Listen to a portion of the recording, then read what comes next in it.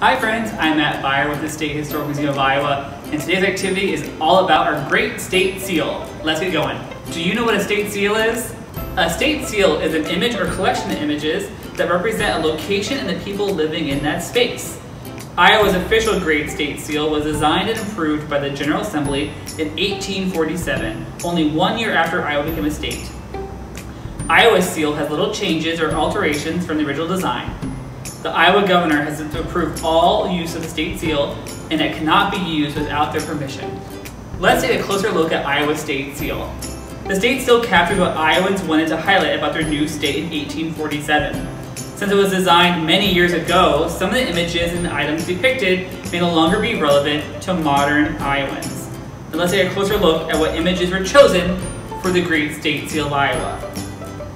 A citizen soldier, a bushel of wheat in a farm plow to represent agriculture, a bundle of lead to show the importance of lead mining, Steamboat Iowa to represent trading and transportation along the river, and the state motto is also included within the symbol. The materials needed for today's activity are pretty simple. You need our worksheet right here, markers, even colored pencils. Let's get going. Step one is to closely examine our official Great State Seal of Iowa. You can either see in our worksheet, head online, or check out a book to see the seal up close. The second step is to answer some questions. Our worksheet has provided questions to help you investigate our state seal. Why do you think our seal was designed the way it was?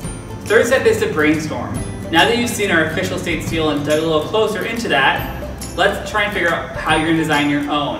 And you can use our prompts we have on our worksheet to help you figure out your ideas. What are some key words that make you think of Iowa? What are some images or symbols that make you think of Iowa? What do you want people to think about Iowa when they see your seal design?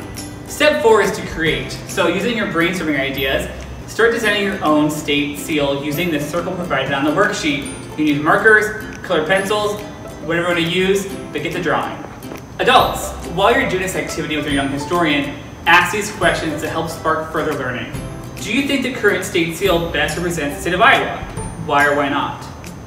Do you think state seals are important? Why or why not? How do you think state seals are used?